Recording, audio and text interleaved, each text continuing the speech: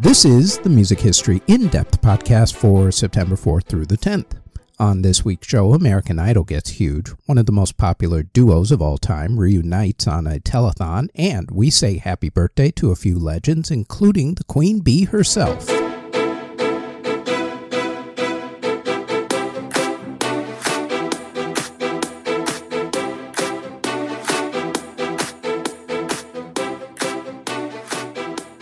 This show goes more in depth about some of the events that we put on our daily podcast, the Music History Today podcast, which drops every single day, including weekends, wherever you get your podcast from.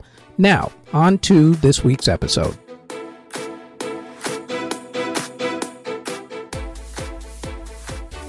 In 2002, producer Simon Fuller convinced Fox Television to try something new for American television. He was going around town trying to sell a reality music competition show with the winner getting a recording contract.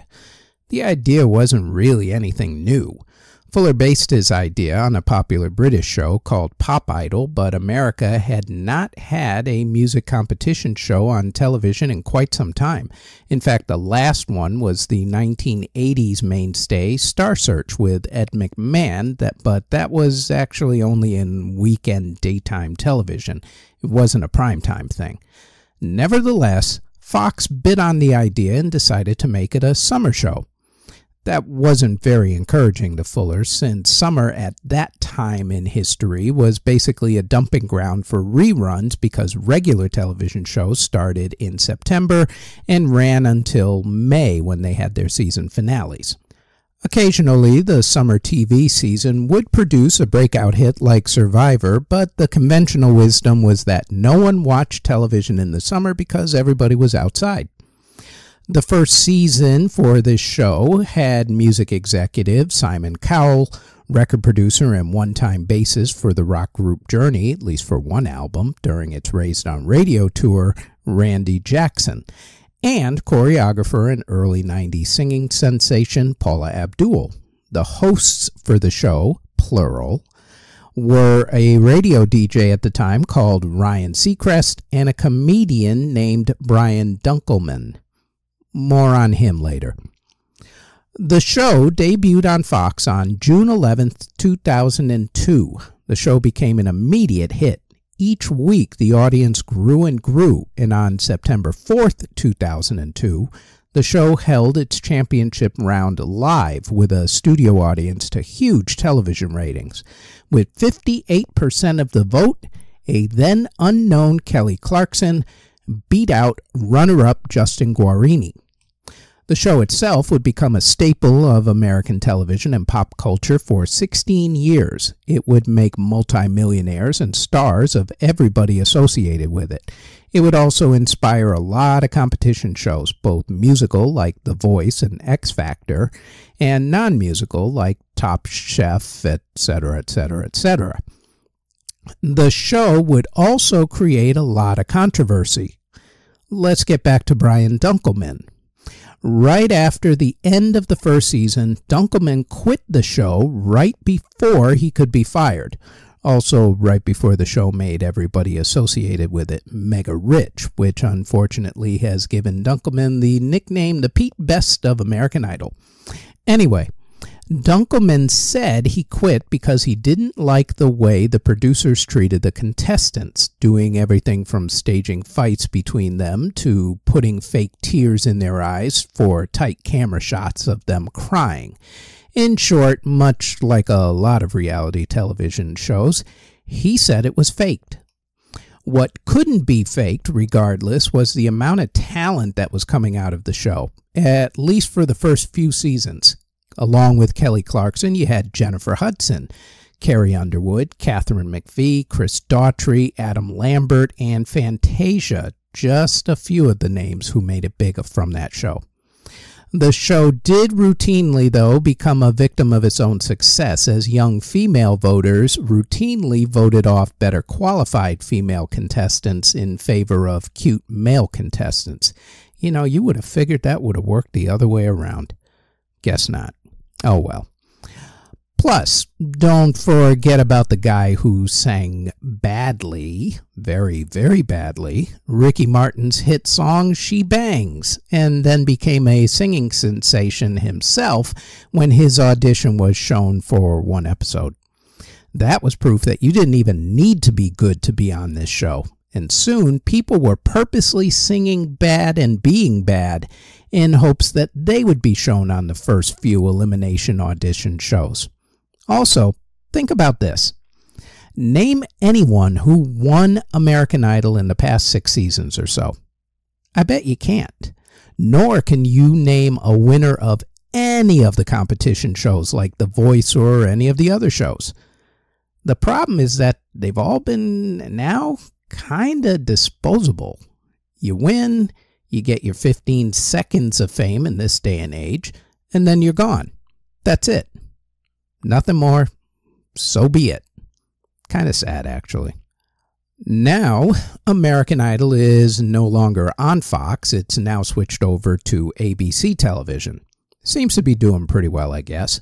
But nothing will beat its first season when it stormed right out of the gate, reaching its zenith during the first season finale, which was held on September 4th, 2002.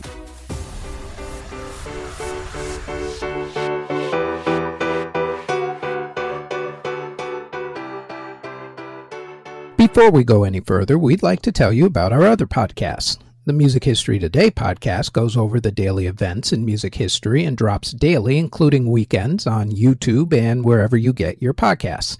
There's also the Music Halls of Fame podcast, which talks about a member of the Rock and Roll Hall of Fame along with other Music Halls of Fame's museums and walks of fame. The Music Halls of Fame podcast drops every Thursday and can also be found on YouTube and wherever you get your podcasts. Now, back to this podcast.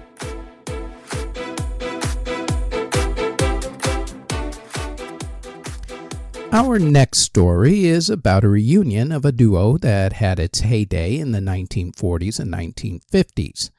In 1945, Dean Martin was a nightclub singer. Jerry Lewis was a comedian who routinely made fun of the music that was playing around him. They decided to team up together when the scheduled singer didn't show up one night in 1946 at the 500 Club in Atlantic City, New Jersey. At first, the duo show wasn't really all that good, so they just started winging it and did vaudeville and slapstick comedy. That act worked, and they became mainstays at the club. Word spread, and soon they were doing the nightclub circuit. Lewis would constantly interrupt Martin's singing, and Martin would get angry and chase Lewis all over the place. Hollywood soon came calling, and that's when things really took off. Martin and Lewis had a radio show which paid them very well, and that led to them doing some movies. All of this made them extremely popular. For instance, just check out footage online of them hanging out the windows at the Paramount Theater in Times Square while thousands, and I do mean thousands, of women screamed at them from the streets. These guys were actually humongously popular. Unfortunately, like a lot of partnerships slash relationships, things get strained. Martin grew tired of being Lewis's straight man to Lewis's crazy antics, so they broke up rather angrily on July 25th, 1956 exactly 10 years to the day of their first performance together. Martin, of course, went on to have huge success of his own in the movies and also with a group of guys who did crazy nightclub antics of their own. Those guys were called the Rat Pack. You may have heard of them Frank Sinatra, Sammy Davis Jr., Joey Bishop, etc., etc. Meanwhile, Lewis went on to become a movie star in films like The Nutty Professor and The Bellboy and say things like, Hey lady, pretty lady, and stuff like that. Lewis would also become involved in a charity organization. Back in 1951, he and Martin participated in the first telethon for a cardiac hospital. Lewis continued to do telethons for various causes, and then on September 4th and 5th, 1966, he started hosting the Labor Day Telethon to benefit the Muscular Dystrophy Association. The show would become a Labor Day staple until Lewis was dismissed rather unceremoniously from the association in 2011. Lewis raised hundreds of millions of dollars for the MDA over those decades with his trusty sidekick, Ed McMahon. They used to call the kids Jerry's Kids. It was a Labor Day staple. I remember watching it every single Labor Day when I was a kid. It was during one of these telethon broadcasts that Lewis got a surprise. On September 6, 1976, Lewis's good friend, Frank Sinatra, was on the telethon when he stopped for a minute and asked Lewis if he could bring a friend out who wanted to do a song. Lewis said sure. And then out walked Dean Martin from the wings of the stage. The audience gave them a standing ovation. The two old friends hugged. They hadn't really spoken in just over 20 years at that point. They joked around on stage for a few minutes in an awkward but touching moment. And then after the reunion, they talked and kept in touch until Dean's death in 1995. Jerry Lewis passed on in 2017. The reunion of two of the biggest stars of the early 1950s took place on September 6, 1976, on the Jerry Lewis Labor Day Telethon for Muscular Dystrophy. Those two stars, Mr. Jerry Lewis and Mr. Dean Martin.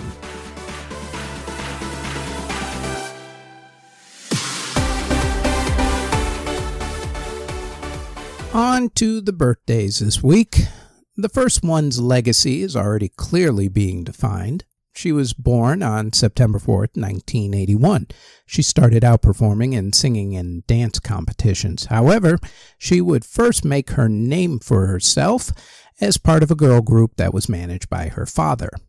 After the group broke up in 2006, she found further success as a solo artist, selling over 100 million copies to go along with 60 million copies sold as part of the group.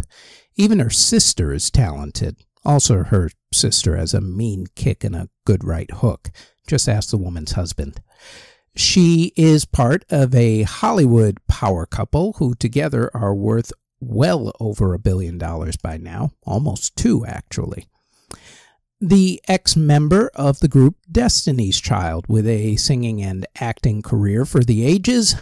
Jay Z's much better and more talented half, I might say. It's Beyonce's birthday, born September 4th, 1981. Otis Redding was born on September 9, 1941. He has been called one of the greatest singers of popular music ever. He was a member of Little Richard's backup band, the Upsetters, for a time, and also Johnny Jenkins's band, the Pine Toppers. He started recording as a solo artist in 1962 with Stax Records. His first single was the classic These Arms of Mine in 1962. In 1964, he put out his debut album, Pain in My Heart. What followed was an incredible amount of album and touring production. In fact, as far as touring went, he toured the South and Europe continuously for the better part of the decade, all the while recording song after song after song. In 1964 and 1965, Otis put out three albums. These Arms of Mine was 64. In March of 65, he put out his second album, The Great Otis Redding Sings Soul Ballads. That album had Otis's first big hit, Mr. Pitiful. While on tour to support this album, Otis started working on songs that would become part of his next album. He decided that most of the songs would be cover versions of soul songs, and three of the original songs were co written by him I've Been Loving You Too Long, Respect, and Old Man Trouble. Respect would be slowed down, of course, and covered by Aretha Franklin, who did her classic rendition of it. The entire album was recorded in three days. It started on April 19th and then finished on July 9th and 10th. He was backed up by members of the Memphis Horns, the Bar-Kays, and Booker T and the MGs. And that album, Otis Blue, Otis Redding Sings Soul, was released on September 15, 1965. Although the album only made it to number 75 on the Billboard Albums charts, three of the singles became top 40 staples I've Been Loving You Too Long, Respect, and Shake. The album is considered one of the greatest albums of all time, even though most of it is actually cover versions. After Otis Blue, Otis's career started going stronger and stronger.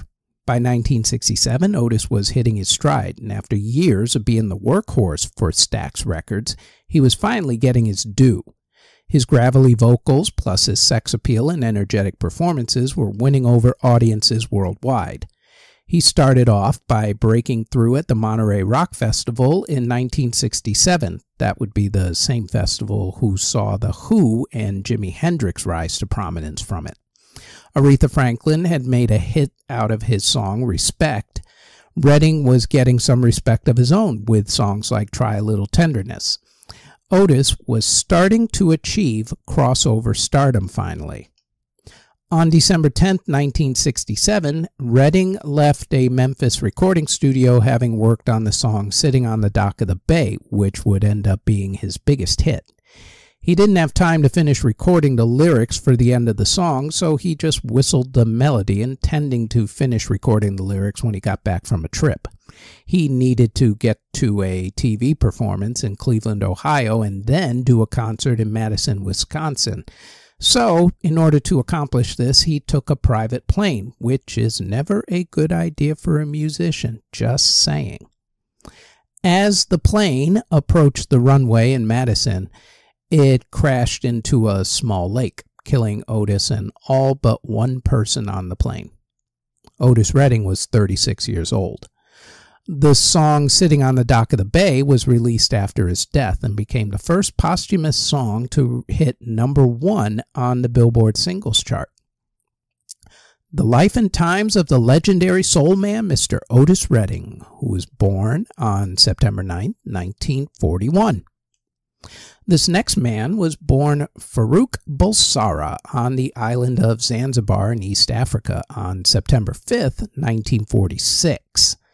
Back in the late 1960s, while in art college, young Farouk became friends with bassist Tim Staffel, who was in a band called Smile. Farouk became a fan of the band and ended up joining them when Staffel left the band to form another band. Farouk joined the band and did two name changes. The first was that he persuaded the rest of the members of the band, who were guitarist Brian May and drummer Roger Taylor, to change the name of the group from Smile to Queen. The second was that Farouk Bulsara changed his name to Freddie Mercury. Queen played with different bassists for a couple of years until they found the perfect bassist in John Deacon. In 1973, the band signed a record deal and released their debut album, Queen, the critics liked the progressive metal sound of the band, but the public didn't find the album, even with the now well known lead single from that album, Keep Yourself Alive. Their second album, Queen 2, found success both with critics and the general public. That album had the classic Seven Seas of Rhye. In 1974, the band released Sheer Heart Attack, which gave them even bigger success with songs like Killer Queen, Now I'm Here, and Stone Cold Crazy album number four came out in 1975. A Night at the Opera became a worldwide smash.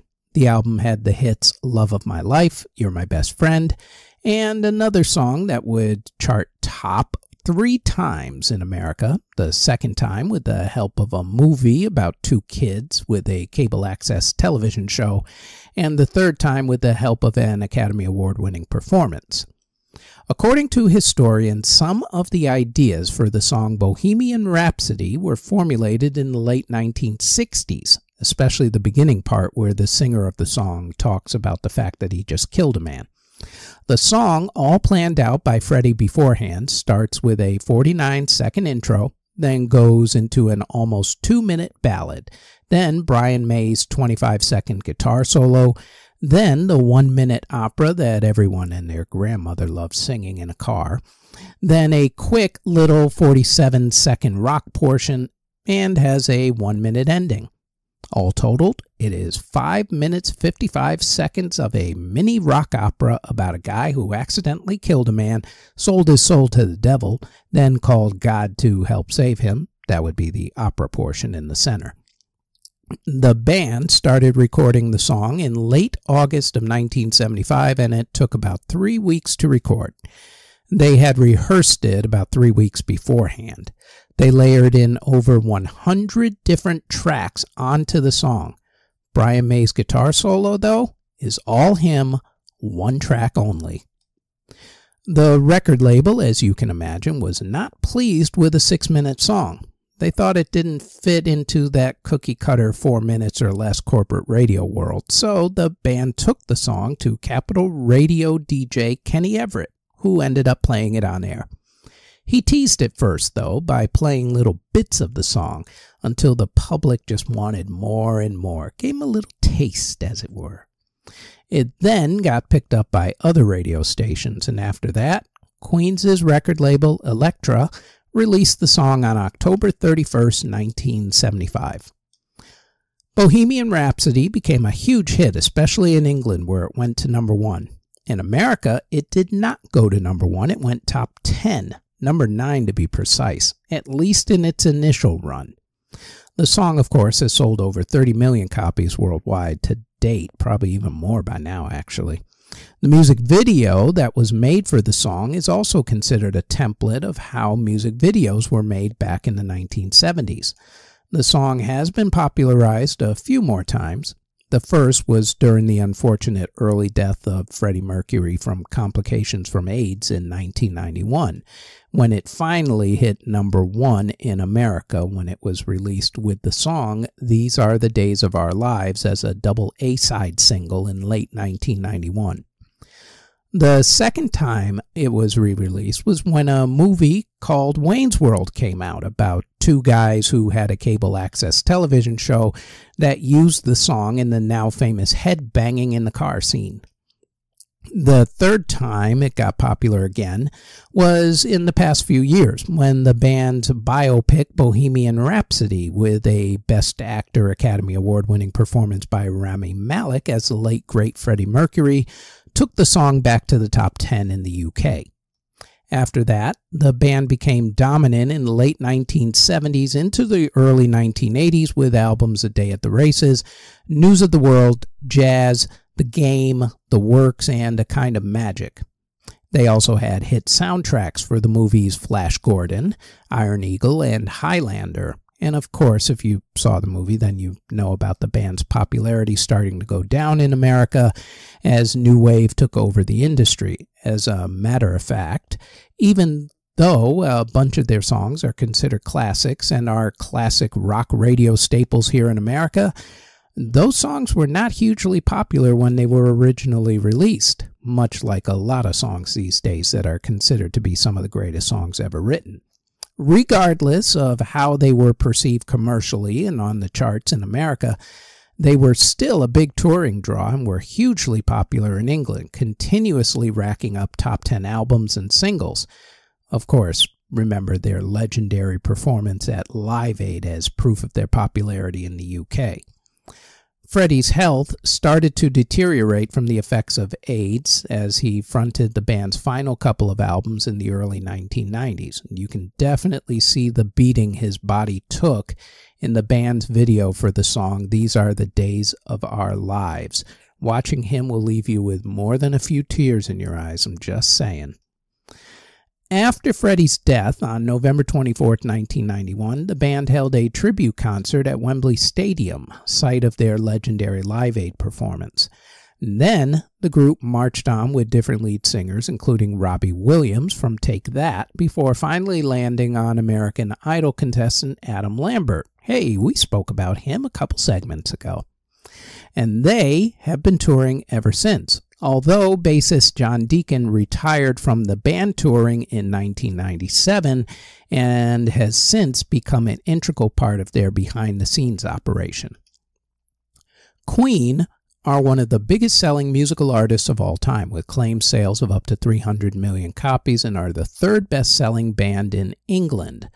Rolling Stone voted Freddie the second greatest frontman of all time and the 18th greatest singer of all time, while voting the band the 52nd greatest artists of all time.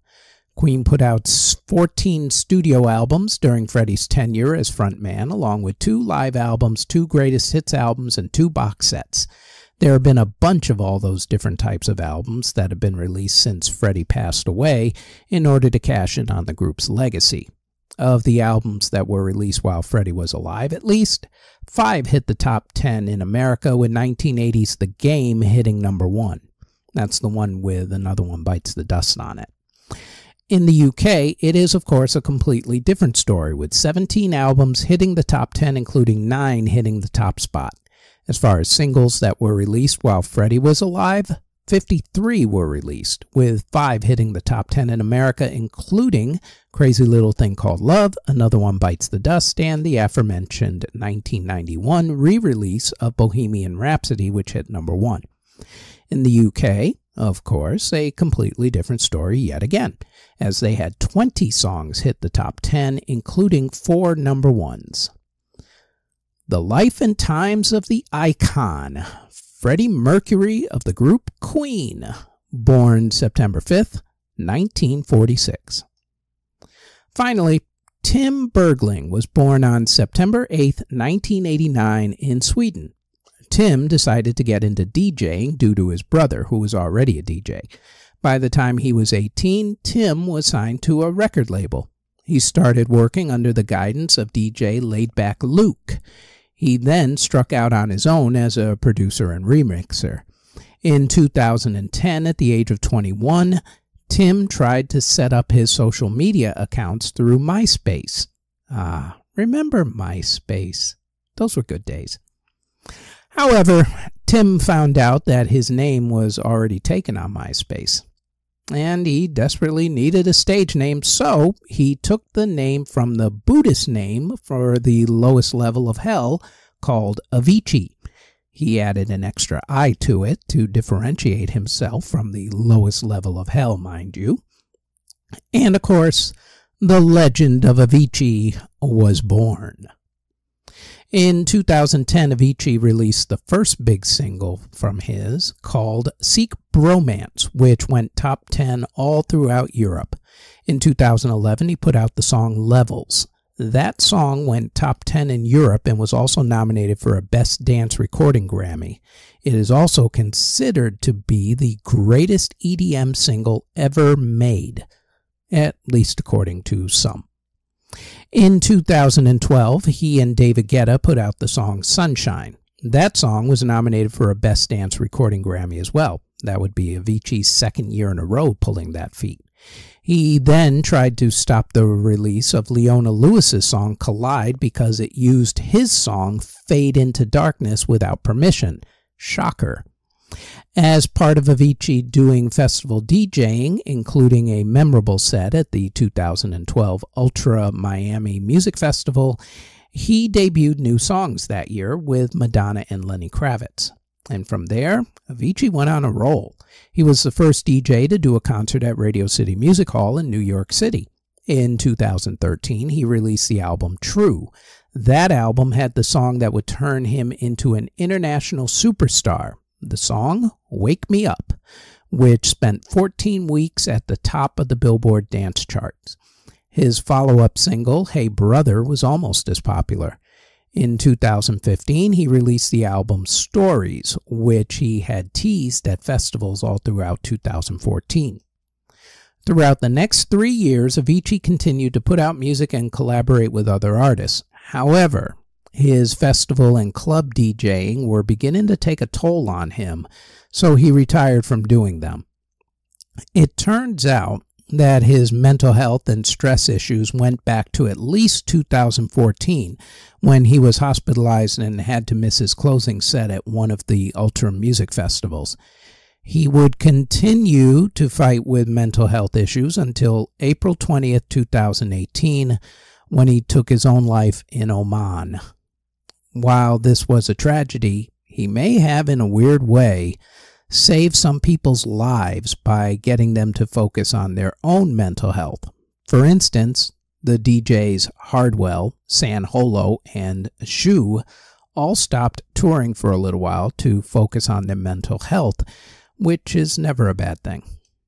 Unfortunately, his girlfriend at the time, Emily Goldberg, also passed away, but she passed away recently on April 3rd, 2024, at the age of 34 from a pulmonary embolism. Unlike a lot of people, I do not still to this day consider him to be a legend. However, I do respect what he did, even though I was never really personally a huge fan of his work. And if I have to hear Wake Me Up one more time, I'm gonna just go nuts. Uh, the song drives me absolutely crazy. It's not his best song. In any event, he was not the first to put EDM and country together, by the way. That honor goes to the Swedish group the Rednex, back in 1994 with that gem Cotton Eye Joe, which some people remember still. But while putting the two genres together did not become a trend after Rednex did it, it certainly became a trend after Avicii did it. In fact, without Avicii's skills for combining country and EDM, you definitely wouldn't have the current crop of country EDM artists out there working together, like combining Florida Georgia Line with virtually every EDM artist known to mankind. From that standpoint, Avicii will always have my respect because he was the first EDM guy to do it in the past 20 years differently than a lot of these other cut and paste guys out there. The late Tim Bergling, aka EDM DJ and producer and remixer Avicii, born September 8th, 1989. And that is it for the Music History In Depth podcast for September 4th through the 10th. Thank you very, very much for listening and or watching.